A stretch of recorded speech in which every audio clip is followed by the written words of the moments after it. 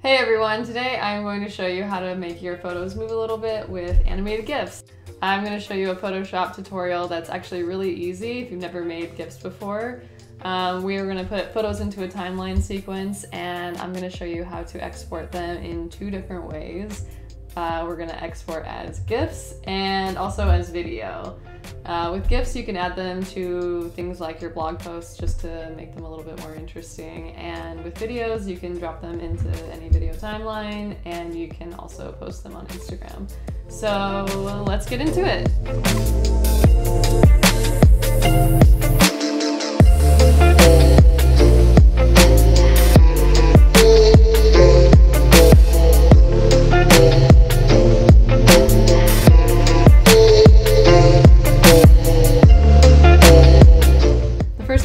Is open Photoshop.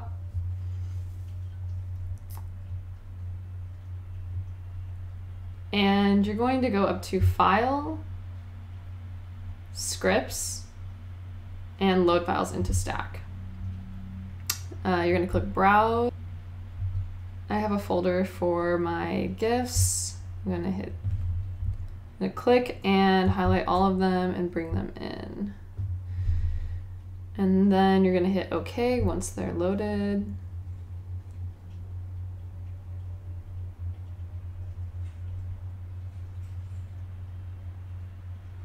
Okay, cool.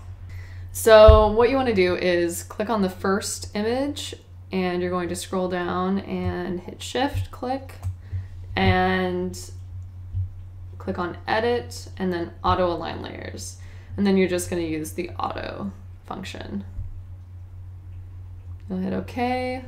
Photoshop will do its thing and try its best to line up the images. Cool. So the first thing you're going to notice is the image might look a little bit wonky, um, but we're going to fix that right now. So you click on the first image and you're going to hit this button, Create Frame Animation. So that adds our first image to the timeline. The next thing you want to do is hit this menu icon that's on the right and select make frames from layers. And that'll bring in all of your layers into the timeline. One thing that Photoshop does, uh, you'll notice, is that now the first image is actually your last image, and your last image over here is your first image. So you want to reverse that by hitting this menu icon again and reverse frames. So now we're in chronological order again. Okay, uh, now you'll see that there's these huge negative spaces on the outside and that comes from the auto align. So what we're gonna do is crop in to get rid of those negative spaces.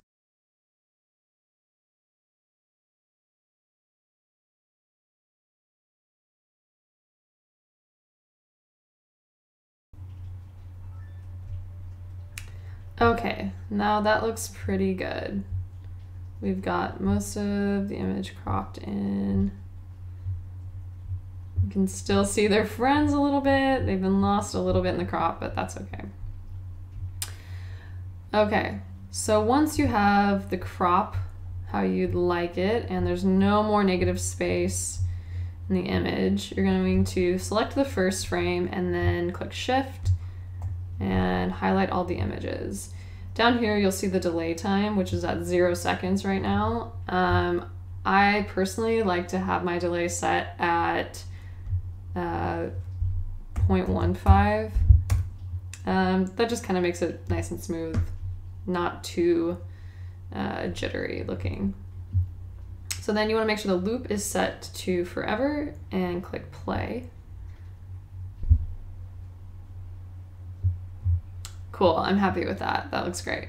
Okay, so to export the GIF, we're going to go up to File, Export, Save for Web, and a little preview is gonna pop up. You can zoom out to see what it looks like. So there's presets right up here, and there's a couple different options, but I like to use 128 Dithered, and I leave everything else the same. Um, I usually like to change the size because 11 megabytes is pretty big. Um, so from 1600, we can go to like a thousand. And if you look over here, you can see just how much that'll change the size. It takes it down to three. So that's great. Um, you can hit preview and see what it looks like on the web. That looks pretty good. Go full screen here. Cool.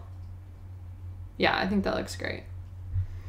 Um, you want to make sure that your loop is set to forever um, so that when it's playing on the internet, it'll just keep going over and over again. Um, then you'll hit save.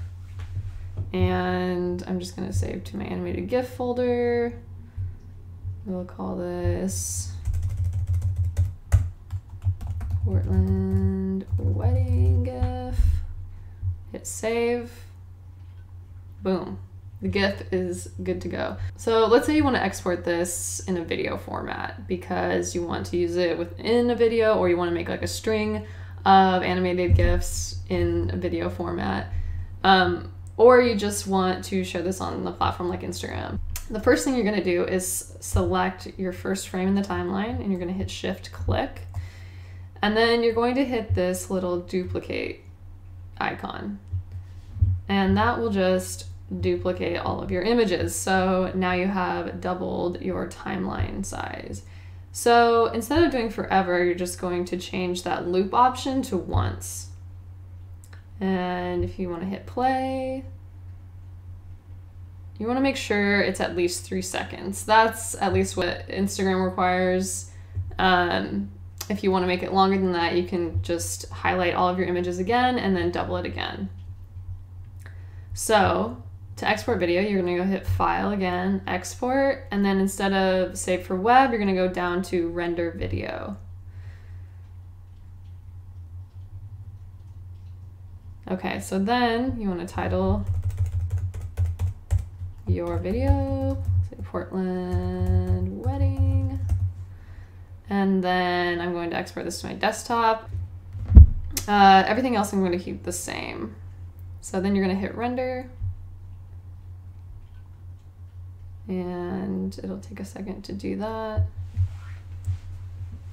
Okay, so then if you want to check out your video, you're going to go, let's see, I had this saved to my desktop, so open that. And there it is in video format. Cool. And it's four seconds long, so this is long enough to share to Instagram. Also, you'll notice that with video, the quality is much higher than in a GIF. So um, that's another benefit of using a video format. If you thought this video was helpful, please let me know by giving it a like. And if you want to see more tutorials related to photography or to the wedding industry, please subscribe and you'll get a notification when my next video comes up, hopefully very soon. Hey everyone, today I am going to show you how to make an animated gift. gift. hey everyone, today I'm going to show you how to make your photos Fudos? It's GIF, not GIF.